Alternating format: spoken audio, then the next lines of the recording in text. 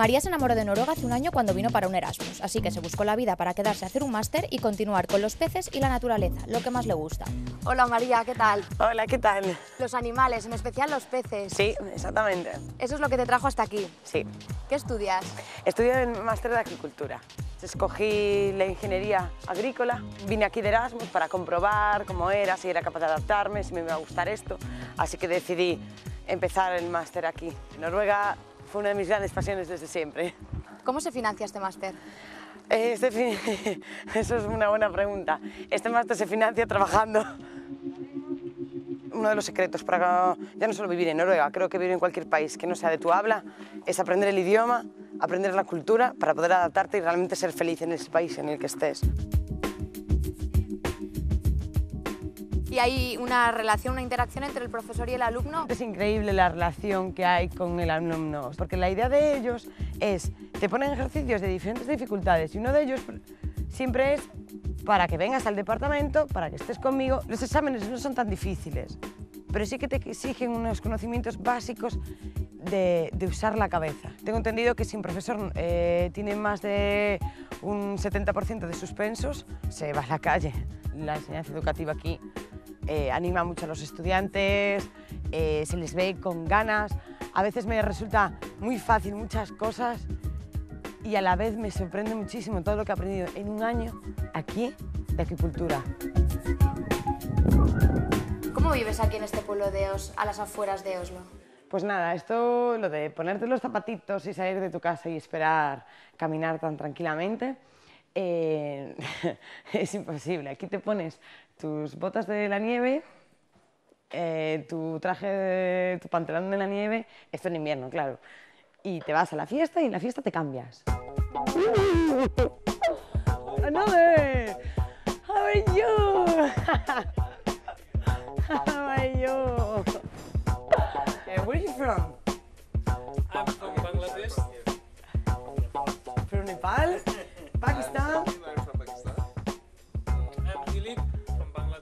Son mis compañeros de clase, me han ayudado un montón el primer año. Hay diferentes salas con diferentes pescados y diferentes procesos. Si varían en diferentes parámetros, cómo les afecta al pez, ya no solo en nutrición o en el crecimiento, sino que también en el comportamiento como en la calidad de la carne. Y un pescado estresado pues tampoco es bueno porque a veces pueden llegar a morir y sobre todo si son chiquititos. ¿Pueden llegar a morir? Os voy a coger uno. De hecho, los peces mueren de estrés. Esto es salmón. Son muy pequeños y son bastante agresivos cuando no tienen mucho espacio. Me, ha- me hace ilusión verme hoy aquí porque veo cosas que es como... Hay un pez enfermo, ¿Por qué lo sabes? Porque se les ve en el color de la piel.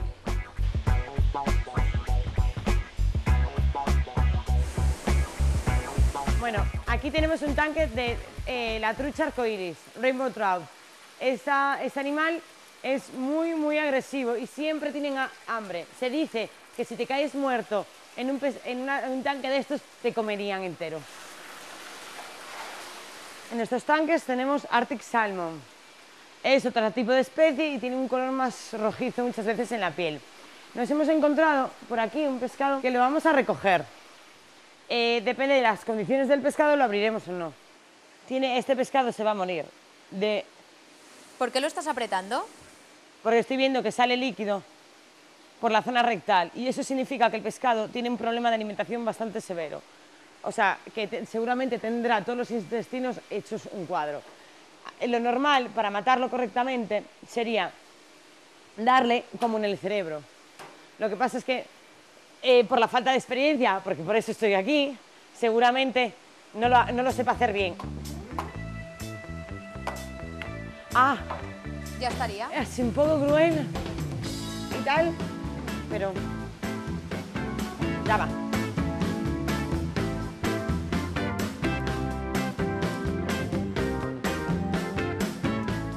Eh, abrirlo va a ser un chiste, está fatal, está muy muy mal y lo que nos vamos a encontrar dentro no nos va a gustar absolutamente nada, ya os lo digo ahora. Los órganos tienen que tener pues, su color, un color natural, se les ve fuertes y aquí vemos que tiene un color agrisado. Realmente me siento como uno de esos salones chiquititos, soy nueva en todo esto, pero sí que me gustaría conseguir que la gente compre pescado de piscifactoría sabiendo que va a comer un pescado de calidad.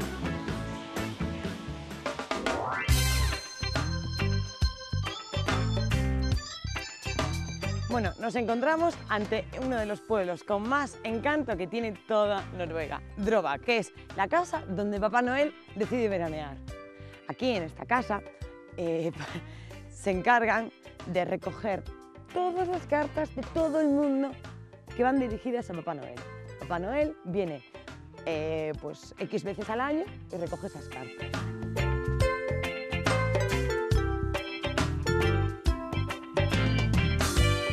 En este sitio diseñan todas esas cosas que usamos para Navidad, pues aquí mismo.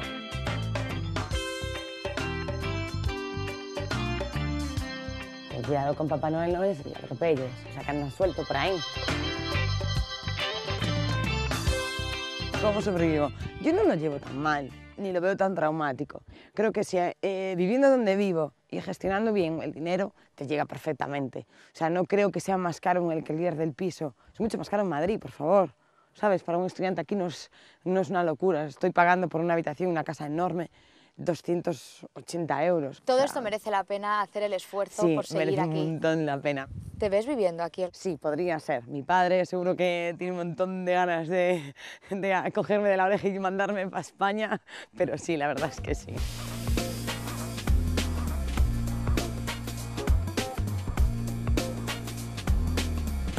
María, después de un largo día llegamos a tu casa. Sí, ahora os voy a entrar. Esta es la entrada. Esto es muy, muy noruego, porque si os fijáis, aquí tenemos los típicos esquís, que ya están aquí preparadísimos para este invierno. Tenemos la entrada donde es obligatorio sacarse los, los zapatos para todos. ¿Cuánta gente vive aquí? Pues somos cinco, aunque parezca que seamos millones. Hi. Es una de mis grandes amigas de Indonesia que conocí el año pasado. Este es mi salón. Te quejarás de casa. No, la verdad es que es increíble. Eh, Conocemos el resto de la casa, sobre todo tu pequeño huequecito, lo que sería tu dormitorio. Como se dice en noruego, nanai. Realmente no me apetecería nada sin enseñaros mi habitación, porque es como una locura, una leonera. ¿Tú eres ordenada? Sí, mucho, Muy ordenada. bastante. Entonces, es como, mi habitación es una auténtica locura. Tengo mis compañeras cocinando aquí, cada uno de nosotros cocina un día la cena. Dewi está empezando a preparar algo, supongo que será típico indonesio, le da mucha vergüenza, así que se ríe un montón. Y estas son mis chicas noruegas. Pero de aquí de Noruega, ¿qué has probado?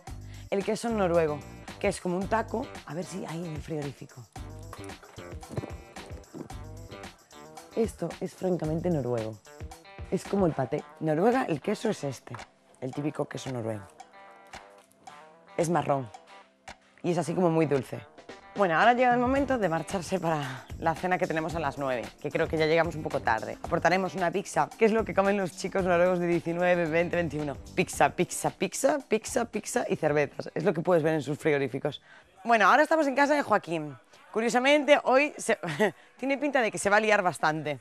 Porque tenemos nuestra cena y luego tenemos aquí a, la- a las chicas noruegas y a los chicos noruegos, que es un día muy especial porque es el día de elecciones. Y ellos quieren que gane el grupo socialista. Elecciones generales Sí, hoy. entonces están vestidos de rojo y tal. Entonces aquí los tienes con su vinito y sus cosas. ¡Hello!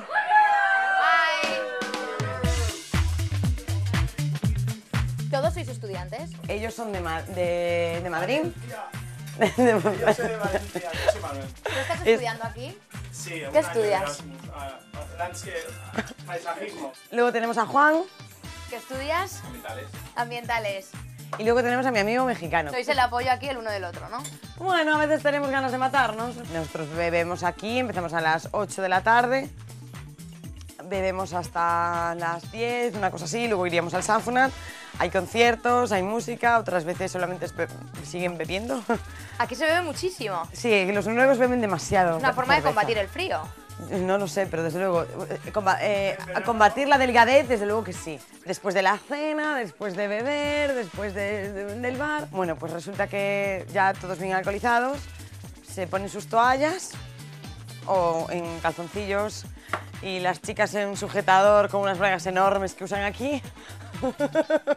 se van corriendo a la nieve y se tiran en la nieve. Imagínate, ponemos unos 60, 70 grados en una sauna, se calientan bien, ahí bien alcoholizados y luego se van a la nieve a tirarse. ¿Qué aficiones has cogido aquí? Aficiones, aficiones, aficiones. Aparte de beber a las 8 de la tarde, eh, una de las cosas que he hecho aquí ha sido escalada sobre hielo y me gustaría practicarla mucho más. Lo que ha hecho Joaquín, que es chilaquiles, si no me equivoco. Esto Juanito, con sus ibéricos. Y esto... Y, y la pizza que hemos aportado nosotros como Madrid Norque. ¿Hay gente de todas las nacionalidades aquí? Bueno, no todas, pero unas pocas. Noruega, ella es bastante complicada porque es, eh, su madre es de Colombia y su padre es noruego. Eh, una francesa y todos mis españoles y mi mexicano. Hoy tenemos un noruego que cuando se emborracha un montón y les da por disfrazarse, eh, como un poco despelotarse y, y demás. Y aquí ¿No lleva tenemos. nada? Va en bata y calcetines. No, calzoncillos, solo calzoncillos. Bueno, pues entonces te dejamos que sigas disfrutando de Noruega, de la experiencia como estudiante y mucha suerte con todo. Muchas gracias a vosotros por todo el programa y un saludo muy fuerte a todos mis amigos y a toda mi familia. Hasta pronto, chicos. Hasta luego.